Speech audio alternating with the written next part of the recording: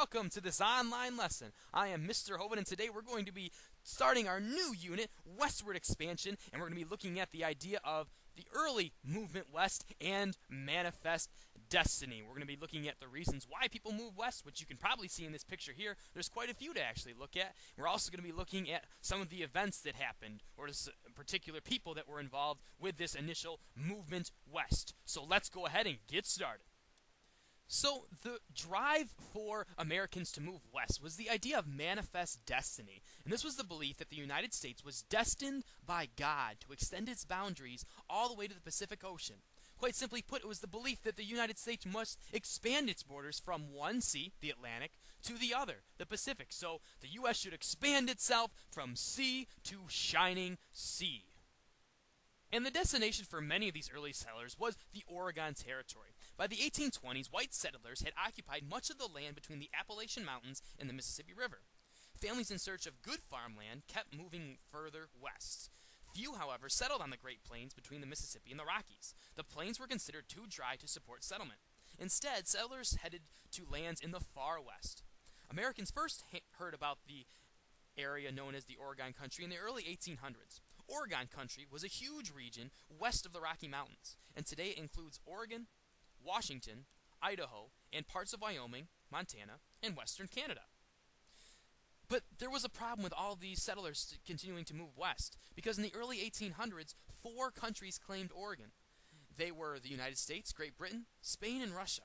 Of course, Native American groups had lived there for centuries. However, the United States and European nations gave little thought to Native American rights. But in 1818, the U.S. and Britain agreed to occupy Oregon jointly, which means that they both decided to kind of co rule the Oregon country. Citizens of each nation would have equal rights in Oregon.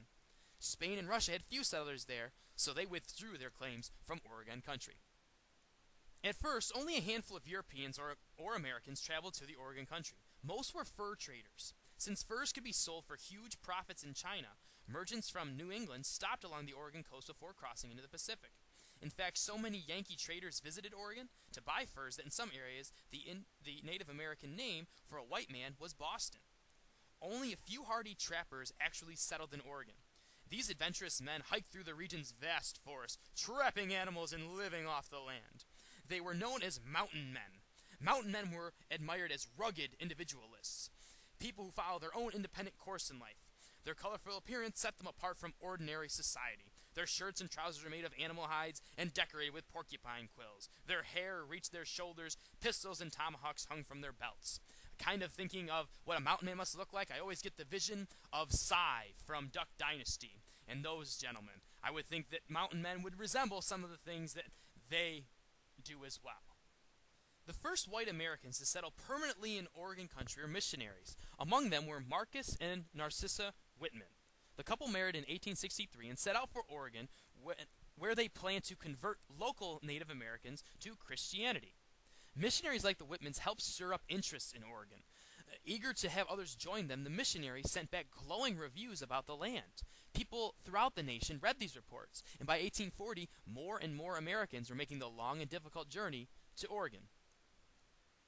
So, why go west? Uh, this was a journey that was 2,000 miles, and it usually was made in about five months. They were going at a very snail's pace of 14 miles a day, but in that time was actually considered making good time.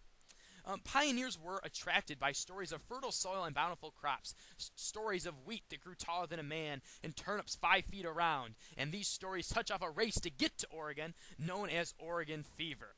And by the beginning of 1843, wagon trains left every spring for Oregon along the Oregon Trail. Families planning to go west along the Oregon Trail met in Missouri, Independence, Missouri, that is, in the early spring. By mid April, they were on their way to Oregon. Now, on the trail, families woke at dawn to a bugle blast. Everyone had a job to do. Girls helped their mothers prepare food, men and boys harnessed the horses and oxen, and by 6 a.m., the cry of wagons ho rang across the plains. So they began traveling at about until about 7 p.m belongings as they went along were discarded. A lot of times people overpacked. So they started with a large amount of gear, and as they crossed rivers and scaled mountains, they discarded belongings to lighten their wagons. So things would be strewn about all along the trail. So this was not an easy journey to make. Now, the trail west held many dangers. During the spring, travelers risked drowning as they floated their wagons across rain swollen rivers. In the summer, they faced blistering heat on a treeless plain. Early snows could block passes through the mountains, and getting heavy wagons past these obstacles was hard work. But the biggest threat was sicknesses. Cholera and other diseases could wipe out a whole wagon train.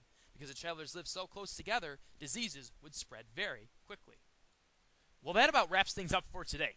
Before we go, though, however, I just want to recap with you some of the reasons individuals had for going west. First was natural resources, new land to plant crops and gain money, gold.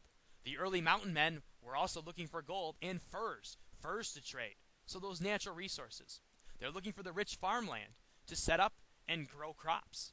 There was a chance to spread their religious beliefs, such as what Marcus and Narcissa Whitman did with their missionary work. And there was the progress moving west. The railroads were being created. As for you remember from the initial slide on this, it showed the railroads and power lines being set up. So progress, jobs, and a chance to make money were also in the west. And that's something we're going to start with in class. Why do people move? And why would people want to move west? Kind of a review of this lesson. And we'll see you then.